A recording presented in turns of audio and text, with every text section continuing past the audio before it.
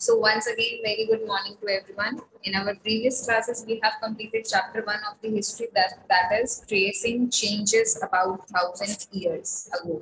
है ना कि थाउज़ेंड ईयर अगो पहले क्या क्या हज़ार साल पहले क्या क्या चेंजेस आए थे हमने उसके बारे में पढ़ा था तो दैट वाज द इंट्रोडक्शन कि हम जो है आगे पूरा चैप्टर्स बाकी के चैप्टर्स में हम लोग क्या क्या पढ़ने वाले हैं हमने बहुत सारी चीज़ें पढ़ी थी कि new region new kingdom new empire ये सब चीज़ें आई थी नई नई चीज़ें और भी आई थी फ़ूड बेवरेजेस आए थे और बहुत से इनोवेशन हुए थे। सो so, ये जस्ट एक first chapter was the introduction जो हम थ्रू आउट द पूरा क्लास सेवेंथ में पढ़ने वाले हैं हिस्ट्री के अंदर। Okay so yes so our second chapter is new kings and kingdoms अब न्यू किंग्स एंड किंगडम्स में इसमें क्या है कि आपके जो नए किंग्स आए, नए किंगडम्स बने। नए हम लोगों ने पढ़ा था पुराने चैप्टर में कि जब जो चोलाज मुगलक मुगल्स एंड तुगलक्स जो थे, उन्होंने जो है छोटे छोटे रीजन छोटे छोटे एम्पायर्स को अपने अंडर में करके नया जो है एक वास्ट एम्पायर बनाया था, है ना? तो इस चैप्टर में भी we are going to study about the new kings and new kingdoms कि जो है नए राजा कौन थे? ठीक है? और जो नए राज्य या नए किंगडम जो है कैसे बनाए जाते थे? इंडिया में जो है कौन से जो रीजन या किंगडम अमर्ज है मतलब इंडिया में कौन कौन से लोग हैं जिन्होंने रूल किया? ठीक है? सो और राजा कौन होते हैं? कैसे आए थे? कहाँ से आए थे ये लोग? है ना? ऐसे तो किसी के मन में नहीं आ गया था कि भाई इसको हम किंग बना देंगे या ये हमारा राजा बन जाएगा। तो ऐसा नहीं होता था। ठीक है? तो हर चीज़ की स्टार्टिंग कहीं ना कहीं से हुई थी। अब आपको एक मैप दिया हुआ है, जिसमें आपको बता रखा है कि many new dynasty emerged after the seven century की बहुत सी जो है नई डायनेस्टीज वगैरह आई थी। तो हम देखते हैं इसमें। आप ये देखिए, जो मैप दे रखा है, इसमें ये एक पोर्शन आपको दे रखा है। ठीक है, ये एक पूरा एम्पायर यानी कि एक पूरा किंगडम जहाँ पे लोगों ने या रूलर ने अपना हक जमा रखा है। देन एक ये हो गया आपका। ठीक है, वैसे ही आपको एक और भी दिया हुआ है। यहाँ पे as you can see this राष्ट्रपतास है ना? यहाँ पे बहुत सारे जो किंगडम की बात करी गई है, पुराने जो आप देख सकते हैं इंडिया में कितना बड़ा इनका जो था चमन्स और इनके अंदर छोटे छोटे ये एम्पायर्स आ रहे हैं गुर्जारा प्रतिहारस कन्नौज इंद्रप्रस्थ ठीक है? उसी तरह एक ये पालास का बड़ा सा एम्पायर था, जो, जिसमें छोटे छोटे एम्पायर्स भी थे बरहमपुर कामरा कामारूपा तो सेम विद यहाँ पे भी आपका एक एम्पायर है ठीक है, एक बहुत ही वास्ट एम्पायर बहुत ही बड़ा किंगडम था राष्ट्रपता ठीक है। उसमें भी बहुत सी चीज़ें आई थी, बहुत से छोटे छोटे एम्पायर आए थे मलखेड़ मान्यता, ठीक है। तो इसमें क्या था कि अलग अलग रीजन मतलब छोटे छोटे से रीजनल किंगडम को इन्होंने कैसे अपने अंडर लिया, ठीक है। ये पूरा एक किंगडम बना। तो ये पूरा एक किंगडम में भी तो छोटे छोटे जो रीजन छोटे छोटे जो एम्पायर्स आए थे ठीक है, उनको मिला के कि इन्होंने बड़ा किंगडम बनाया, जिनको चामनाज नाम दिया, जिनको हम चौहान के नाम से भी जान जानते हैं। देन इसमें पालास में भी छोटे छोटे और किंगडम रीजनल किंगडम आए होंगे। इससे मिलके जो है, एक बड़ा किंगडम बना।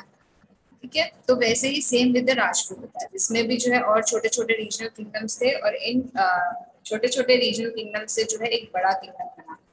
फिर अब इनकी ये जो बाउंड्रीज होती थी as you can see in this picture fluctuating frontiers ठीक है? ये जो इनकी बाउंड्रीज होती थी तो ये कभी इनका जो एम्पायर है या किंगडम का जो एरिया है, वो कभी कम ज़्यादा होता रहता था। क्यों? कभी किसी ने किसी से लड़ाई कर ली तो उसका वो एरिया पे उन्होंने कब्जा पा लिया।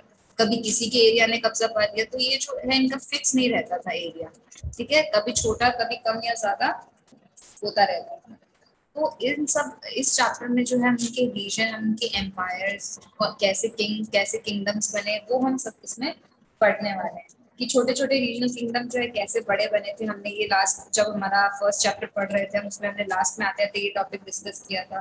देन अलग अलग किंगडम बड़े होते हैं और अपनी अपनी डायनेस्टी बनाते हैं। डायनेस्टी इन द सेंस कि वो अब जैसे फॉर एग्ज़ाम्पल आप हुमायूं, बाबर और ये सब एक ही फैमिली के से बिलोंग करते थे।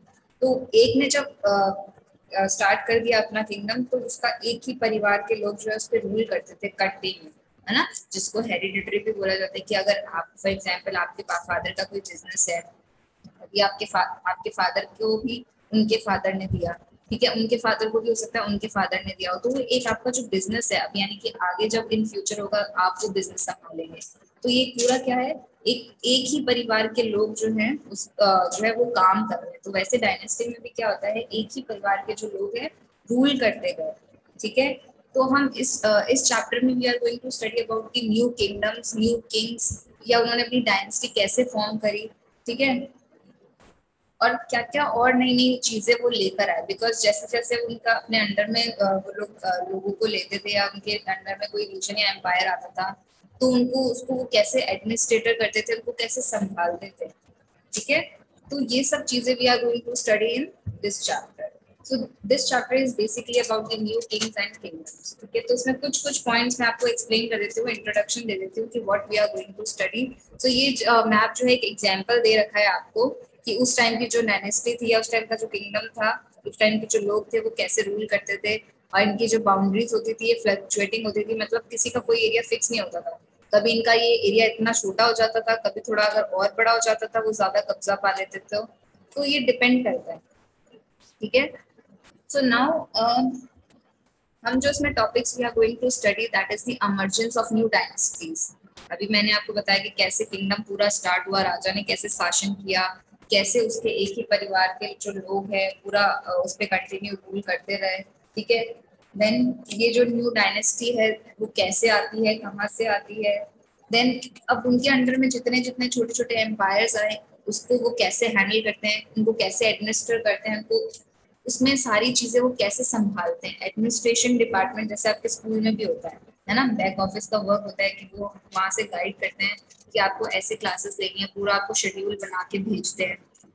तो सेम आप अब उस रीजन को, यानी कि वो जो किंग है, वो उस पर्टिकुलर अपने एरिया को, अपने एम्पायर को कैसे चलाएगा, उसको कैसे संभालेगा, वहाँ की लोगों की नीड्स को कैसे पूरा करेगा, ठीक है? ये सारी चीज़ें वो जो है इसमें हम लोग पढ़ेंगे एडमिनिस्ट्रेशन इन द किंगडम क्योंकि जैसे जैसे वो एम्पायर जैसे जैसे वो छोटे छोटे रीजन को अपने अंडर में लेता है तो उसको कैसे ऑपरेट करना है, उसको कैसे चलाना है, ठीक है? वो सब इसमें एडमिनिस्ट्रेशन में पढ़ेंगे। Then prashastis and the land grant land grants हम प्रशस्ति तो मैंने आपको पहले एक बार बताया था फ़र्स्ट चैप्टर में हम डिस्कस कर चुके हैं, जिसमें जो है राजा महाराजा अपने बारे में बहुत बड़ी बड़ी बातें लिखवाते थे। तो ये भी इम्पोर्टेंट टॉपिक है, ये भी हम पढ़ेंगे इस चैप्टर में।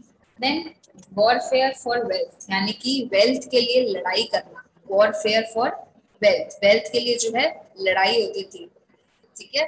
तो अब ये लड़ाई जो थी पैसा कमाने के लिए लड़ी जाती थी, यानी कि वेल्थ को अर्न करने के लिए जो है लड़ी जाती थी। तो उसमें क्या होता था? कैसे होता था? कौन कौन से रीजन पे कंट्रोल हुआ? कौन से रीजन पे कंट्रोल नहीं हुआ? देन उस वेल्थ का वो लोग कैसे यूज़ करते थे? So we are going to study about this also ठीक है? Then last is this Chola empire a closer look to the cholas. एक चोलास एम्पायर यानी कि चोला डायनेस्टी के बारे में हम पढ़ेंगे।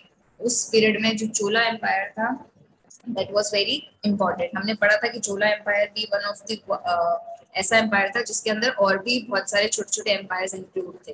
है ना? तो हम इसमें जो है चोला के बारे में इन डेप्थ स्टडी करेंगे कि चोला एम्पायर में कैसे एडमिनिस्ट्रेशन होता था, वहाँ के लोग क्या मतलब कैसे टैक्सेस वगैरह पे होते थे तो हम एकदम अच्छे से डिटेल स्टडी करेंगे अबाउट दी चोला एम्पायर ठीक है? तो चोला एम्पायर उस टाइम का सबसे इम्पोर्टेंट एम्पायर था।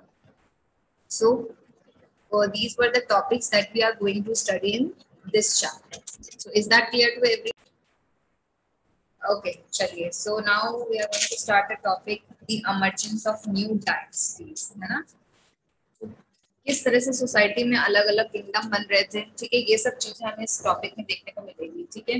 राजा कहाँ से आए नए नए किंगडम कैसे बने, ठीक है? तो राजा जो है, अब इसमें सेवन सेंचुरी में क्या होता था, जो किंग्स वगैरह थे, ठीक है, जो जो एकदम ब्रेव स्किलफुल जो पीपल्स थे, जिन्होंने तो वो लोग क्या करते थे किंग्स वगैरह जो है, अपने अंडर में एक लैंडलॉर्ड या वॉरियर चीफ को अपॉइंट करते थे।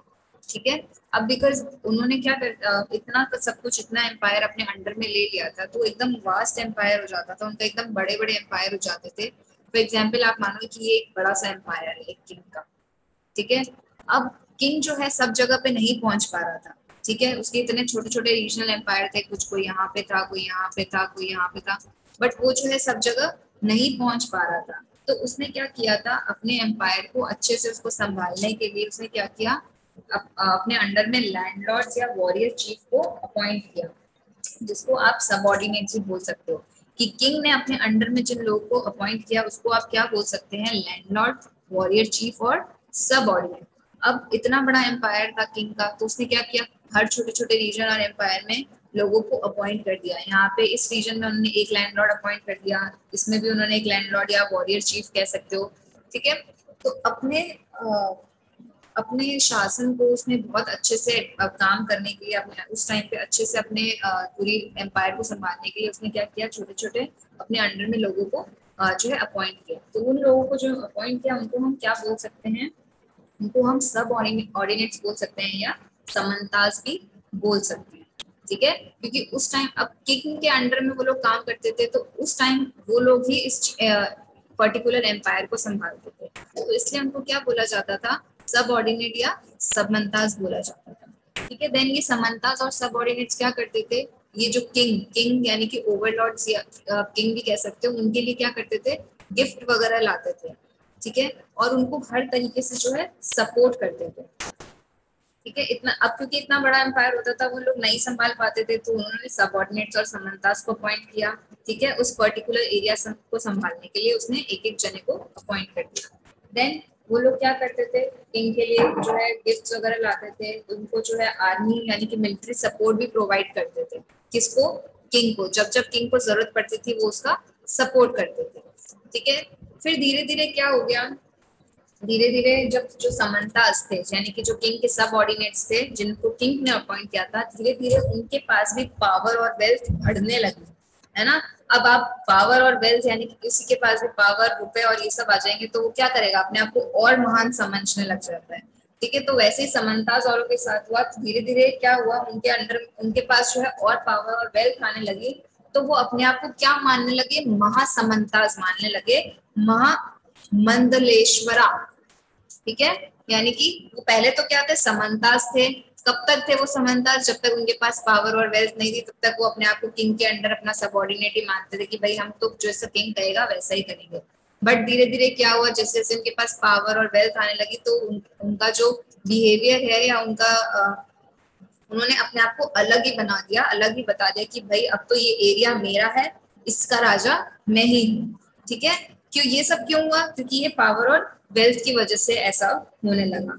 ठीक है तो अपने आप को उन्होंने समन्ता से महासमंता मानने लगे या महामंडलेश्वरा मानने लगे। तो महामंडलेश्वरा का मतलब होता है the great lord of a circle circle यानी कि उनको वो जो पर्टिकुलर एरिया दिया गया था, उसके वो अपने आप को राजा मानने लगे।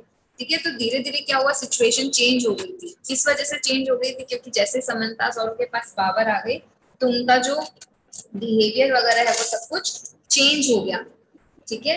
वो अपने आप को राजा मानने लगे और अपने अपना ही अलग से इंडिपेंडेंस जो है उनको दिखाने लगे कि भाई, अब ये तो मेरी ही, मेरा ही एम्पायर है, अब मैं ही इसका राजा हूँ। आप जो है कुछ भी नहीं कर सकते। आपको जो करना है आप कर लो, ठीक है? और अगर आपको ये एम्पायर चाहिए तो आपको मुझसे लड़ना पड़ेगा। तो धीरे धीरे ये सब चीज़ें भी होने लगी, ठीक है?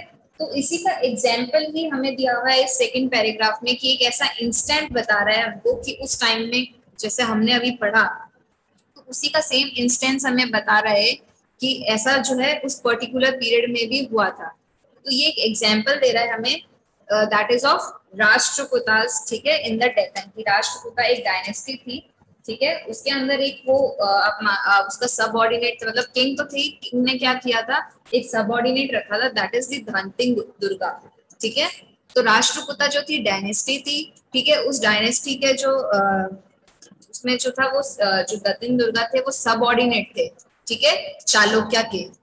मतलब चालोक्या जो एम्पायर के जो रूलर हैं, उन्होंने अपने अंडर में जो है दंती दुर्गा को अपॉइंट किया था एज ए सब ऑर्डिनेट बट दत्तिन दुर्गा ने क्या किया?